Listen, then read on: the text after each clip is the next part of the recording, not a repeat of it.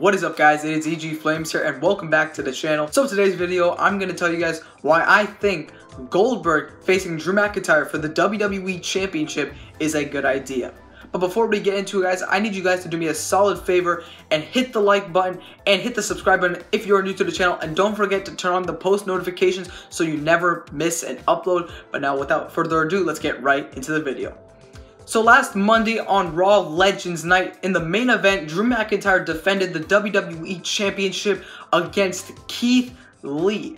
Drew McIntyre would go on to defeat Keith Lee to retain the championship, and afterwards he was set to cut a promo on Keith Lee before being interrupted by the Hall of Famer himself, Goldberg.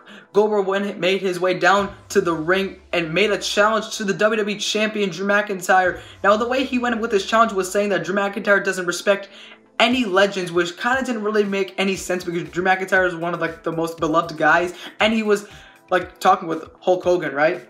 So it kind of didn't make a lot of sense that Goldberg would say Drew McIntyre doesn't respect any legends. But going forward, Goldberg challenged Drew McIntyre to a match at the Royal Rumble for the WWE World Championship. Drew McIntyre would go on to accept the challenge, and the match has been made official. Now, there was a lot of negative feedback from this being made official because WWE fans, obviously including myself, did not like the idea of Goldberg just being given an opportunity without doing anything to deserve it. Now, when it comes to this match, you guys can't lie about this. You are going to watch this match. What makes this match so good that it's happening is that it's very unpredictable. And I like unpredictability.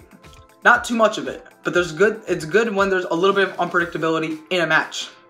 And there's unpredictability in this match because you don't know if WWE are going to do what they did last year with The Fiend or if they are going to rewrite the wrong and make Drew McIntyre defeat Goldberg for the championship. And it's kind of like that with the Royal Rumble match when you think about it for the last five years.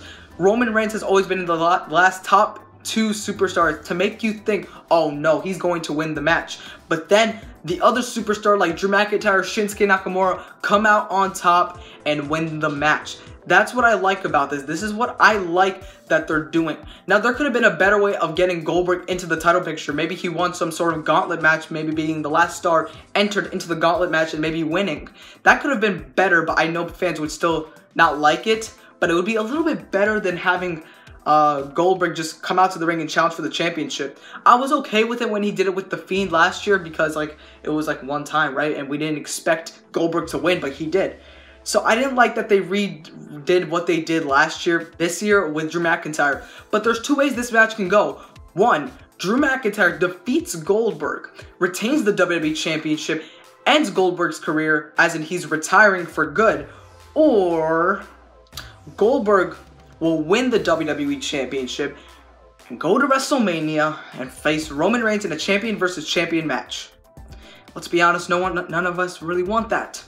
Now, the reason behind this, the reason Goldberg is facing Drew for the championship is because Raw ratings have not been the best as of late, and this is how you get at least maybe 100,000 more fans interested in watching the show next week. I mean, like tonight we're getting Drew McIntyre versus Randy Orton, and bro, I'm tired of that rivalry.